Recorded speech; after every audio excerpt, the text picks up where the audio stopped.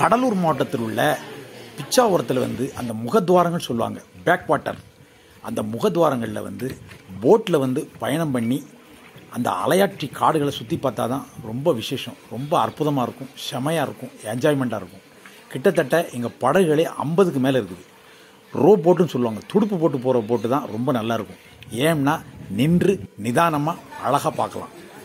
Engine போட்டு கொஞ்சம் ஸ்பீடாக போகும்.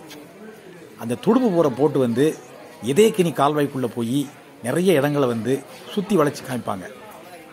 அப்புறம் வந்து சூரியன் படம் கிளைமாக்ஸ் படங்கள்லாம் அங்கே அருமையாக எடுத்தாங்க. அந்த அற்புத காட்சிகள் நடந்த இடங்களை நீங்கள் நல்ல கண்காணிக்கலாம் பார்க்கலாம். ரொம்ப செமையாக இருக்கும். அது போக சுரப்புண்ணைன்னு ஒரு மரம் நிற்கு அது முருங்கைக்காய் மாதிரி காய்க்கும். அந்த சுரப்புண்ணை மரங்களையும் பார்க்கலாம். அந்த வேர்கள்லாம் அப்படி தண்ணீருக்குள்ளே அப்படி மிதந்துக்கிட்டு இருக்கும். அதை பார்க்கலாம்.